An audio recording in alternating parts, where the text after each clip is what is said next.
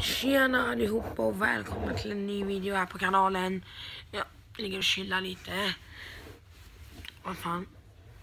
Om ni ser ljuset ber jag om ursäkt för det. Eh, sådär, nu är det bra. Förlåt om ni hör min brorsa och min lillebror. Här har jag min iPad. Förlåt om ni hör dem. Fast vi ska tippa omgång sju i Premier League. Och summering av omgång sex. Kanske kommer ikväll. Eller så kommer det nästa vecka, 6 och 7 tillsammans. Sen senare idag, efter den här videon, kommer också Team of the Week i omgång 6. Men vi börjar med att tippa omgång 7. Huddersfield mot Tottenham, mitt Tottenham.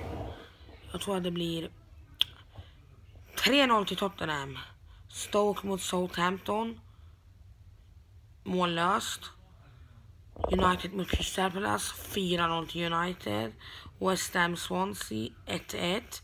Bournemouth Leicester 2-0 till Leicester. West Bromwich Watford 0-0 där också. Så en av de mest spännande matcherna, matcherna hittills. Det är spännande den här omgången. Chelsea mot City. Där tror jag det blir 2-1 till Manchester City. Det är på bortaplan fast ändå.